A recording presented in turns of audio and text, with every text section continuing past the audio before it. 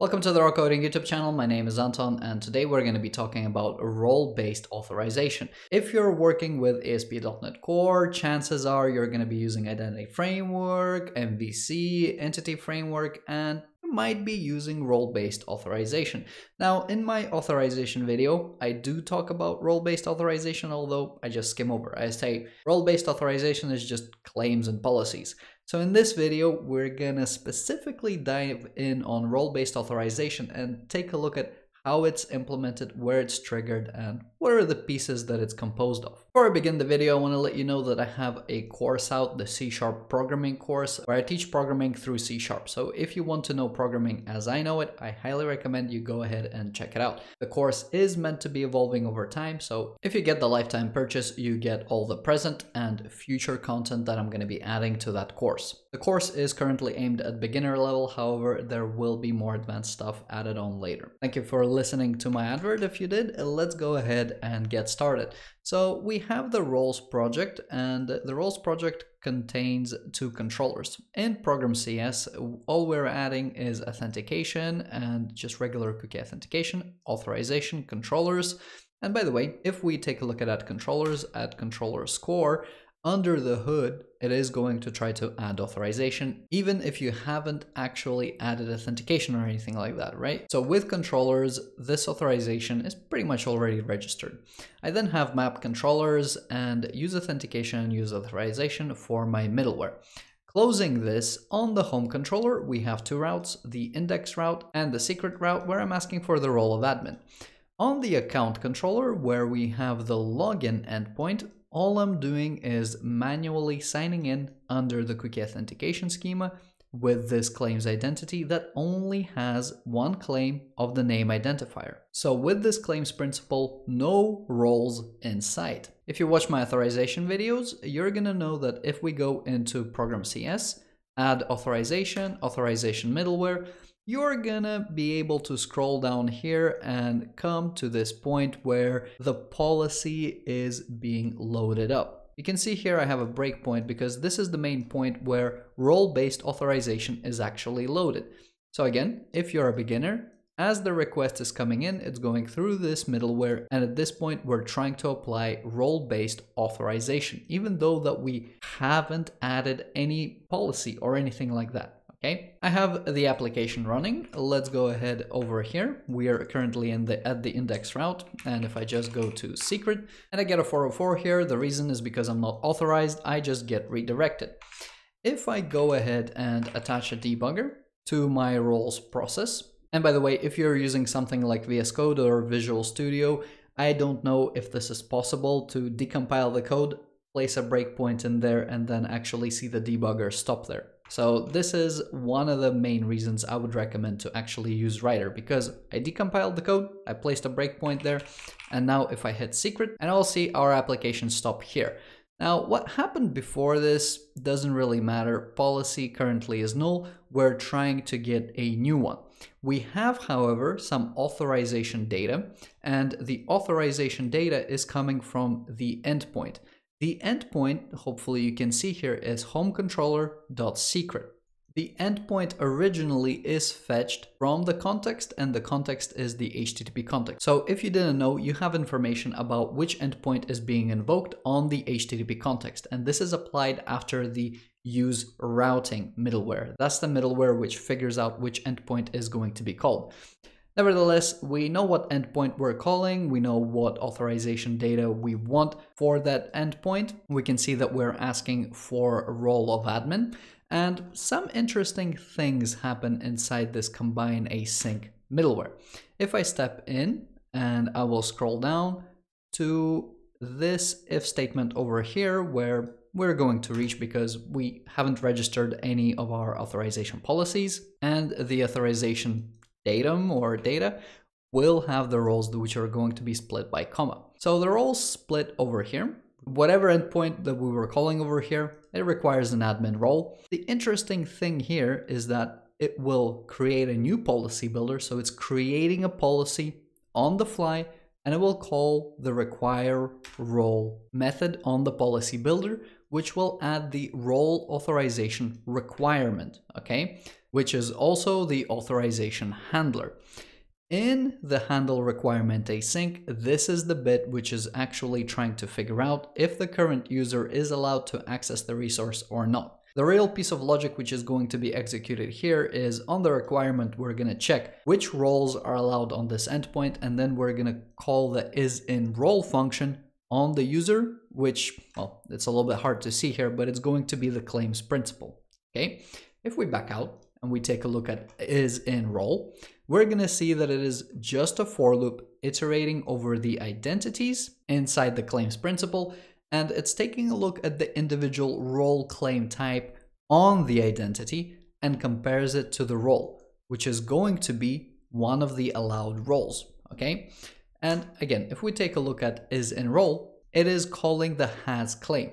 So this is how role-based authentication is really built up out of policies and claims. We're just checking whatever role claim is configured on the current identity, and then a policy is being built up on the fly to essentially invoke this logic. Okay, and this is how we are essentially flying past this and we are ending up on the 404 because we're not allowed. Now that we have this information, when we're gonna go to the account controller, and let me close everything else, when we're looking at this piece of code, we now know we need two things.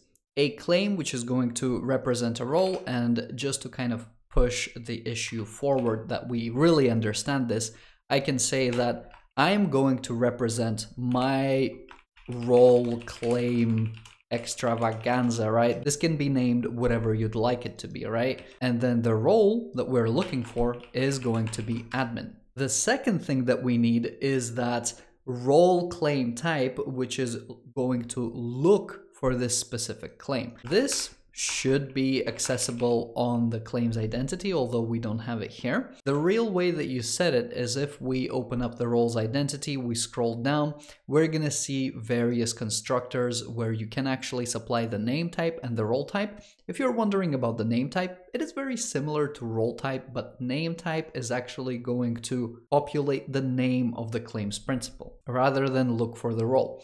So back to the accounts controller, to the claims identity, we're gonna say that name type, for now it's going to be null.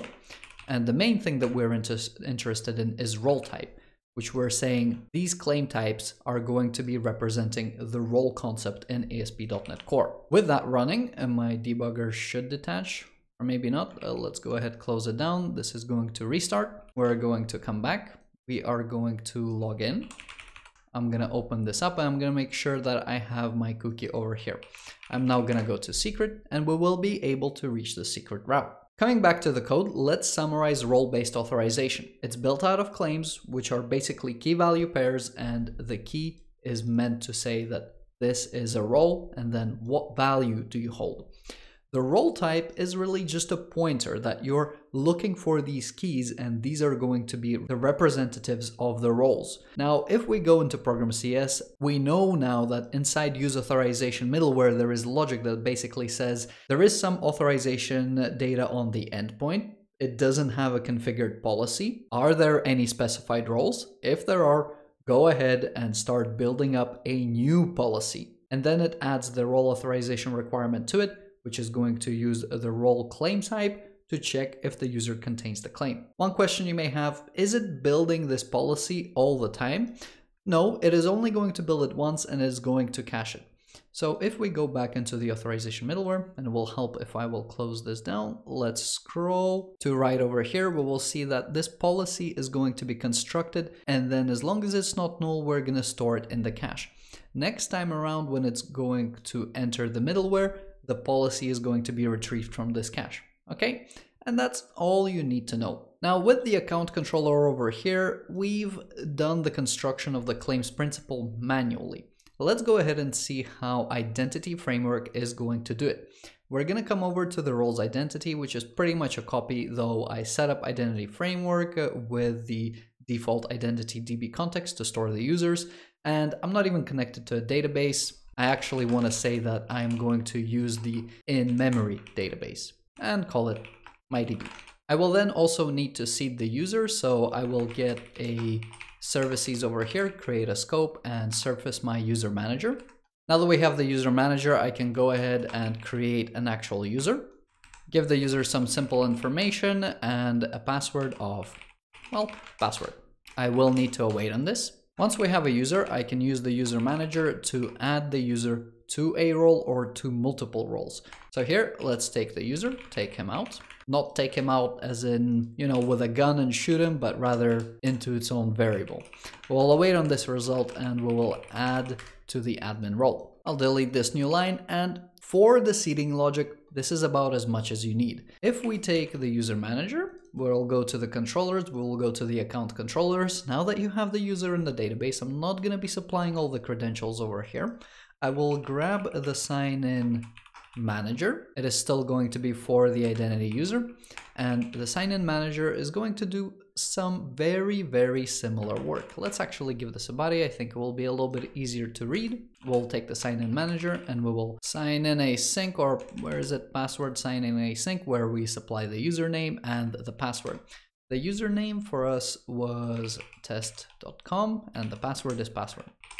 We also then have some options, which eh, I would say don't really matter at this point. We will await and then return OK. The main thing we want to understand here is what does identity framework do similar to how we do it in the account controller over here? Because we're constructing a claims principal and then we're adding it behind this cookie authentication. In the account controller over here, if we go inside password async, and we're going to see that it's using the user manager to find the user by name. Once we have the user, we're going to go into password sign in async. And here, again, for some reason, we're just verifying that the user is not null. And then we check password sign in async. So we try to check it. We go inside, we have some kind of check that might error out. And then again, we use the user manager to communicate with the database to check uh, if the password is correct, which is just going to use entity framework core under the hood. So let's head on out of here. At this point, the password should be correct. All it should do in the end is just return that sign out is successful. We're going to now back out a couple of times I know this may look a little bit confusing, but check password sign in async. This should return an attempt. If the attempt is successful, we're going to call sign in or two-factor async. In here, we don't have two-factor authentication enabled, so we bypass it and go a little bit further. This bit here is for external authentication, which you just actually want to clean up. But after that, you enter one of these two methods. If you don't have a login provider or if you have one. A login provider is an external login provider. So if you're trying to externally authenticate with Google, you're going to enter into this bottom part. So I'll sign in with claim async. We have the user that is persistent and the new claim. Let's go ahead and dive a little bit deeper. A bunch of more stuff in here. Let's dive even more deeper. And here is the method of interest create user principal async. Let's go ahead and dive into there. We have a claims factory with create async. Let's go ahead and keep going down into this method. Then here we have generate claims async, which returns a claims identity. So we want to go ahead and dive a little bit further. In the generate claims async method, we are extracting user ID and username from the database. I'm not sure whose idea was it to make this service so chatty with the database. But here we have our claims identity identity application where username claim type and role claim type is being placed into the claims identity. And you will see that options, claims identity, you can actually configure this stuff from the options. So this is identity options. So you can see where these options are going to be used. If you come back to program CS and you go over here, when you hover over this O, this is that identity options. So O claims identity, you can actually configure what you want your role claim to look like. So whenever you're adding a claim, so add claim, and this is going to be some kind of claim of role admin, something like this, and you want to change the default Microsoft claims, you can actually do that. But hopefully uh, with all this stuff, it paints a clearer picture of how role-based authorization works and how it's all assembled in ASP.NET Core and Identity and MVC. Let's go ahead run this application and see it work. So dot .watch. Looks like role admin doesn't exist and that is because I actually forgot that there is actually a role manager that you need to be using and this is going to be, I think, identity role. So a role manager where you want to go ahead and create a role, which is going to be a new identity role. And the name will be admin. semicolon on the end. Let's wait on this. Go over here. Should be restarted. So try to reach secret. We get redirected to login, which we don't have. We go to login. I have not changed the route on here. So this is actually going to be account slash login. So account slash login. We will be authenticated successfully. So if we take a look at this, you can see that this identity cookie is going to be representing this identity framework authentication session. If I go to secret now, I will be able to reach the secret route. And this is pretty much it. Thank you very much for watching. Hopefully you've enjoyed it. And you can clearly see how role-based authorization is built out of claims and policies. And if you're wondering about the usage, it is a pre-configured solution, which means it's not as flexible. Because policies and claims are your smaller building blocks, you have more flexibility, but you're gonna need to write a little bit more code.